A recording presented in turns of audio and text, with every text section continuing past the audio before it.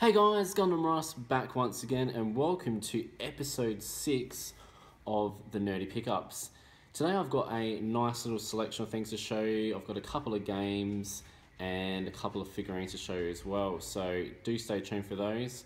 Um, just want to say a big thank you to my recent subscribers. I'm punching around 435 subs. It's only the other day I was on 400, so thank you all for, for, you know for coming on board and, and, watching the channel and for all my subscribers that have been on board with me since day one. All right, let's get into it guys. Let's check out the PS3 games I picked up this week. So the first game I picked up was Earth Defense Force 2025. Now this is a game that I've been wanting for quite some time. Basically, you're in a world, uh, a city if you will, that's been taken over by um, insects. Um, that's you know it starts off you know pretty gradual, like with you know things like ants, and it works up to things like spiders. And I've even seen on the back cover here there's a massive dragon looking thing in there. I haven't got up to that yet, so I'm looking forward to that. But been really itching to get into this series. It's um, one that's a bit under the radar. I think it is quite big in Japan, if I remember rightly. Um, graphically, the game isn't really that crash hot. it borderlines just above probably PS2 graphics when you play it, but graphics put aside, it's such a fun game. There's so many weapons to you know to choose from once you get a bit further in the game. I'm really looking forward to popping this back in again a little bit further. Uh, I've managed to get through the first three stages, and so far I've been really enjoying it. So yeah, if you can find this for cheap, definitely pick it up. Now the next game on PS3 I want to show you is a game that I've been wanting for such a long time, and I've seen lots of people posting pictures on Instagram about it and doing videos on it and talking about it and I've just wanted it for such a long time, but I haven't been able to get my hands on it for a decent price. Well, on the weekend, um, my girlfriend and I went for a bit of a, an adventure, and we managed to track it down for quite a reasonable price, and that was Ni no Kuni for the PS3. Um, and those who have played this game know this is just a gorgeous game that everyone needs to have in their collection if they're an RPG fan. Um, basically, you play start off the game with a young boy called Oliver, and he needs to go into a parallel world to save his mother. I won't go into too much detail because for those who haven't played it, I hate people that spoil games. But um, yeah, you just know you have to get this game. It's just gorgeous, gorgeous graphics. It's just like, you know, watching an anime, and actually being inside an, an, an anime, if you will.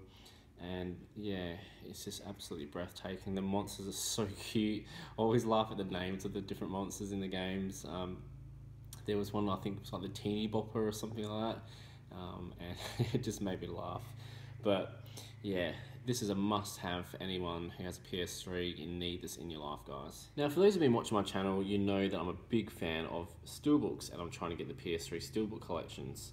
So I had to pick this one up. This is Batman Arkham City. So this has got the beautiful slipcase. It is an absolute mint condition. Um, you got the beautiful, you know, on the front there you got Batman, um, and on the back there you got Two Face. It's really really cool. And then inside, all nice and complete there. I'll throw up a closer picture for you guys to look at. Um, it's just amazing um, this game I really really enjoyed playing it but to get the actual upgraded steelbook um, um, it was really good to, to find and I've also got you can compare I've got the original version here and the steelbook version now. So I'm really happy to have that in my collection. the last three things I've got to show you are figurine related.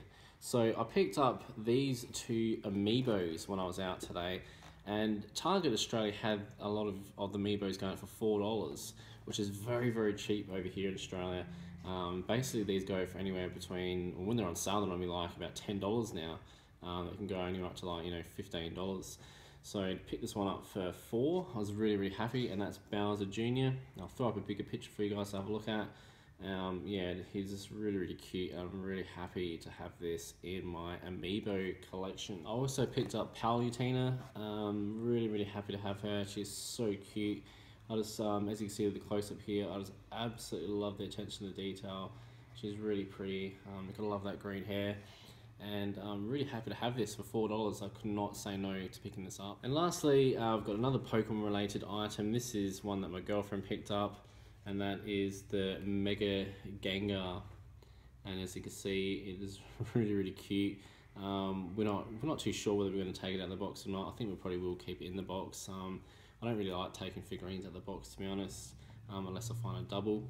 But yeah, really, really happy to add this to our expanding Pokemon collection, which, you know, hopefully in the next few weeks I actually might show you how our Pokemon collection is going because it's getting quite big. Alright, there we have it, guys. Yet another Nerdy Pickups episode. Don't forget to leave a comment below. Let me know what you've been playing. Give me a big thumbs up. And as always, don't forget to subscribe, fools. See you later.